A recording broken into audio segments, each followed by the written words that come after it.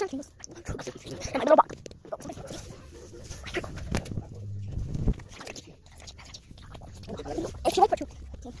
Collection, wait. Collection. Okay. Pretty much it. Okay, you